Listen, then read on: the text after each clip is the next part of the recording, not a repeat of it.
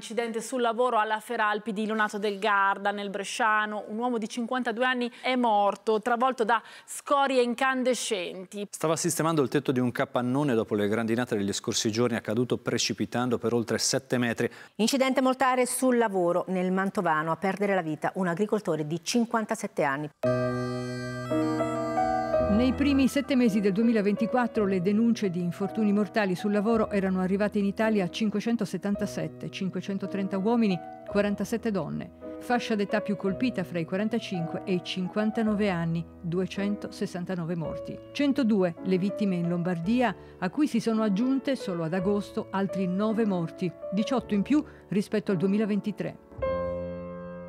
Una tragica contabilità che deve essere frequentemente aggiornata come fallina l'Istituto Nazionale Assicurazioni contro gli infortuni sul lavoro sul portale Open Data che riporta anche il numero complessivo degli infortuni che sempre a luglio di quest'anno in Italia ha superato i 350.000 casi, in Lombardia 66.445 più 1,5% sul 2023.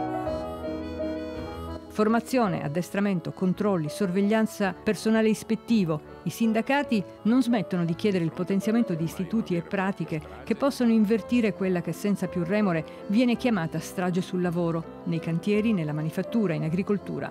Dal 1 ottobre si registra però una novità con l'introduzione della patente a punti nei cantieri obbligatoria per tutte le imprese edili e di impiantistica, 140.000 in tutta la Lombardia, il 25% secondo l'ispettorato del lavoro, senza carte in regola. Non pagano i contributi IMSS, non pagano i premi all'INAIL, non pagano il fisco, non sono in regola con le attuali normative.